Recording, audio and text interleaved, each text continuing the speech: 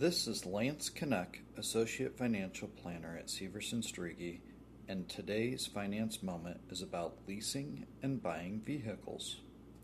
Buying versus leasing a vehicle is a common dilemma for many drivers who want a new car.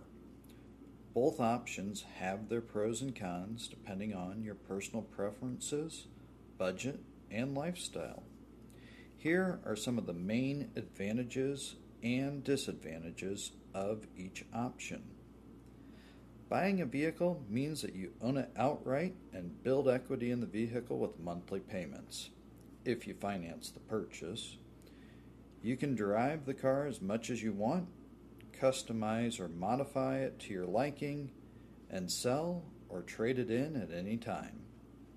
However, buying a vehicle also means that you have to pay a higher upfront cost higher monthly payments compared to leasing, and bear the full responsibility of maintenance and repairs.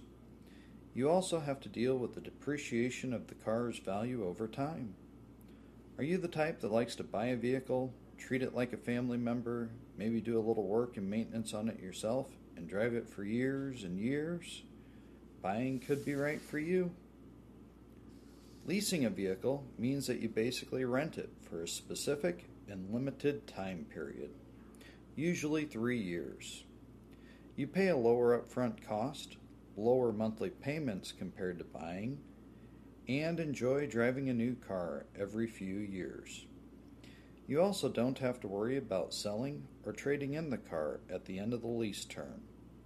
However, leasing a vehicle also means that you have to abide by the mileage restrictions and possible excess wear and tear charges that come along with leasing. You also don't own any equity in the car and may have to pay fees if you want to terminate the lease early.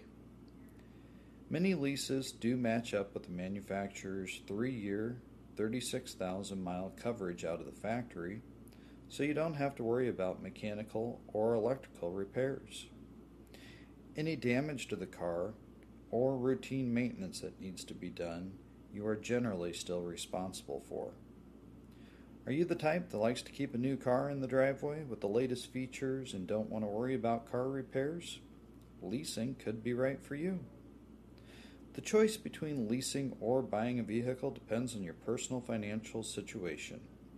You should consider factors such as the miles you expect to drive, the amount of money you are willing to spend, and the purpose of the vehicle when making your choice.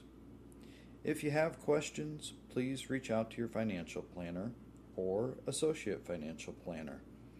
Visit Syverson Strege online at onlyworkforyou.com or call us at 515 225 6000.